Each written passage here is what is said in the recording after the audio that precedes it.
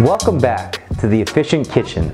We are on shot day and I'm gonna slur my words because I'm on like my eighth drink and I'm gonna hold it together for you. I'm gonna try, but we're making Irish car bombs.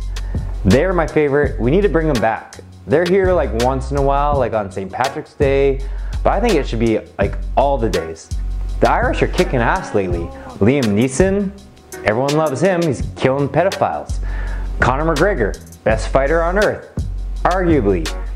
I don't know, Pierce Brosnan, depending if you're in the 90s, then you loved him as uh, James Bond. So I think being Irish these days is almost as cool as being Canadian.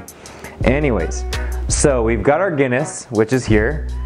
We've got Irish whiskey.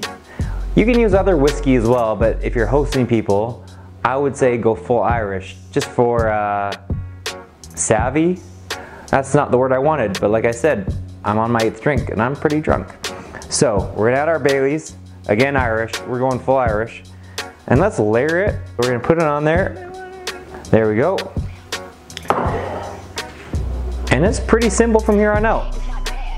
You take this, you drop it in, and you drink it. My girlfriend's gonna be pretty mad at me in the next like hour which again is an Irish thing, fighting. I hope that's not racist. Canadians fight too, it's fine.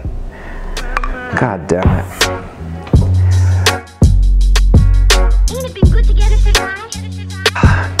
so good. I am gonna black out soon enough. Uh, when you take drop shots, by the way, make sure your mouth covers your teeth or else it'll lose a tooth. I've seen it happen one time, so don't do that. Efficient Kitchen, inspireTravelEat.com. We're inspiring to be drunk right now, which probably isn't the uh, best thing to do on my website. But I want you to host people. I want you to have good date ideas. I want you to make people happy. And that is what the website's about.